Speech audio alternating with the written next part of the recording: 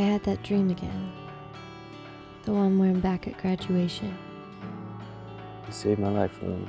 I didn't do anything. He told me he loves me. Shut up. What did you say? Did you tell him you love him too? It's kind of magical. Lily. Wake up, Lily. You've reached Brad Lee.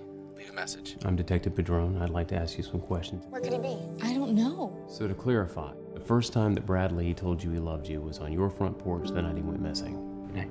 Yet you don't believe that he was planning on leaving town that night. But he didn't desire to leave town. He was supposed to be here with me tonight. Lillian's really nice, but there was always something a little off about him. I didn't tell the police for a reason, okay? So what do you think you're gonna do about it? We looked everywhere and we didn't find anything. I just can't listen to promises about prayers being answered and pain being healed. What am I doing wrong?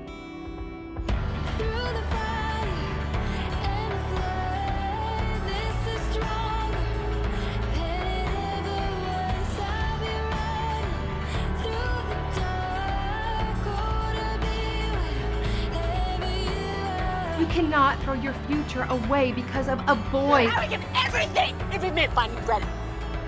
It's enough to miss Brad. I'm also missing you.